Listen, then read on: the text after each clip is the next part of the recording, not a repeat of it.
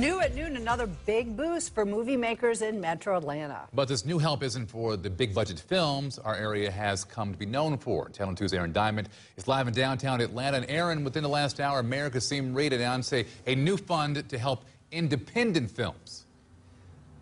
Uh, Fred, by many measures, Georgia is the number one filming location in the world, and today the city announced a big step to ensure that the city of Atlanta remains the center of that here at City Hall. Now, within the last hour, Atlanta Mayor Kasim Reed announced the creation of a creative industry fund, which sets aside $1.25 million for five to $50,000 low-interest loans administered through Invest Atlanta for independent filmmakers and music producers to cover production, marketing, and other costs. The goal is to keep keep local creative talent here. We need entrepreneurs and content creators to realize that Atlanta is a place where they can come and build, bring, and achieve their dreams.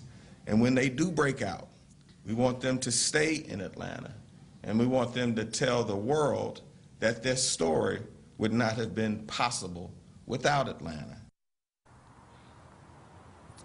Now, over the last fiscal year, the film and television industry has generated $9.5 billion in economic impact here in Georgia and tens of thousands of jobs, a lot of that right here in metro Atlanta. Uh, the mayor, with uh, Mayor Reed set to leave uh, the office at the end of the month, a strong message he's sending to his successor, the next mayor of Atlanta, Keisha Bottoms, about keeping the momentum going coming up starting on Channel 2 Action News at 5. For now, we're live in downtown Atlanta. Aaron Diamond, Channel 2 Action News. Aaron, thank you. And happening now.